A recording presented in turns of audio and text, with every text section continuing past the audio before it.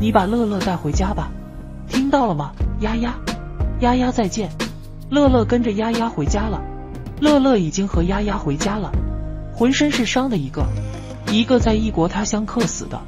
过去半年，两只国宝一直牵动着国人的心。这是丫丫回国后的首次亮相，周围有供应不尽的竹笋和竹子。今天凌晨，丫丫结束隔离检疫，回到了北京动物园。年离开家，老乐乐再也没有见到女儿。丫丫回到北京动物园后，将住进妈妈原来的家。原来的玻璃房已经改建成了露天场地。一个月后再见面，丫丫明显感觉长胖了一些，状态非常好。她吃着美味的竹子，对着镜头微笑。一九九九年一月，六个月大的乐乐从重庆来到上海，开始了他的工作生涯。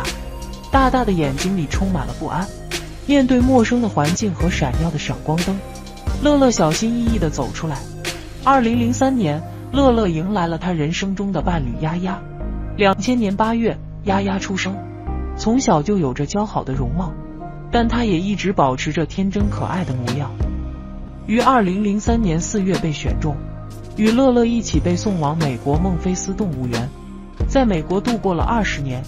丫丫和乐乐的近况，与那些远赴异国的国宝相似，只能用悲凉来形容。就在今年二月一日。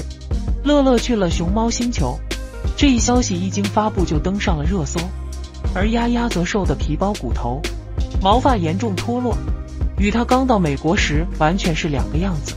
时隔二十年，当丫丫再次见到她的父亲，喜出望外的情绪无法掩饰，丫丫也立即认出了他父亲的声音，心中充满了惊喜。再三确认后，他急匆匆地跑向门口。而王爸爸看到如今瘦骨嶙峋的女儿，更是痛哭流涕，无法自制。随后，他立即与兽医和丫丫进行了门外互动。